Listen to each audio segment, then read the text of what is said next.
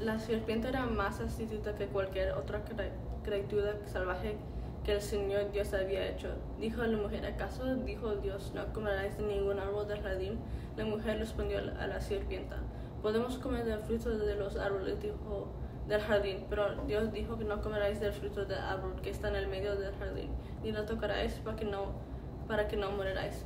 Pero la serpiente dijo a la mujer, no moriráis porque Dios sabe que cuando comes de él se te abren los ojos y serías como Dios, conociendo el bien y el mal. Así que la mujer vio que el árbol era bueno para com- comer y que era un deleite para los ojos y, el- y que el árbol debía ser deseado para hacerse sabio. Tomó de su fruto y comió y también le dio un, un- poco a su marido y él comió. Entonces se abrieron los ojos a vamos y se dieron cuenta que estaban, que estaban desnudos y cosechieron hojas de higre- higuera y se hicieron dilen- dilentales. Y oyeron el ruido del Señor Dios que, estaba, que, que se pasaba por el jardín en el fresco del día. Y, y el hombre y su mujer se escondieron de la presencia del Señor Dios entre los árboles del jardín.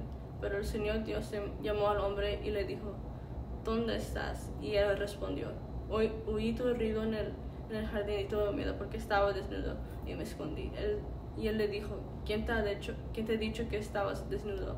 ¿Has comido del árbol que, que te mandé no comer? El hombre, el hombre respondió, la mujer que me, que me diste para estar conmigo me dio, me dio fruto del árbol y comí. Entonces el Señor Dios dijo a la mujer, ¿Qué es, ¿Qué es lo que has hecho? La mujer respondió, la serpiente me engañó y comí. Hoy vemos el fruto prohibido y, y leemos sobre nuestros primeros padres.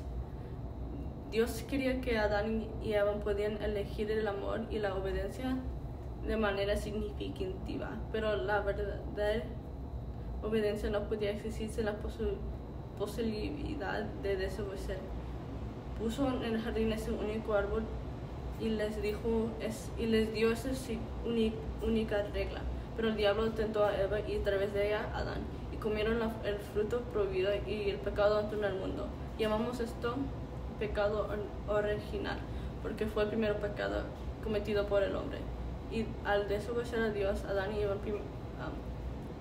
perdieron el don de la gracia de Dios que los protegía de, del sufrimiento y la muerte.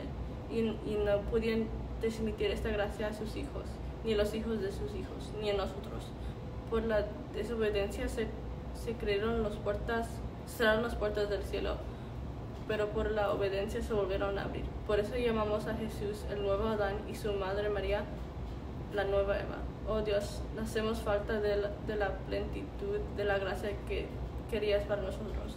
Te agradecemos el don de bautismo por el que somos resucitados. Espe- Esperamos la vida eterna contigo en el cielo. Amén.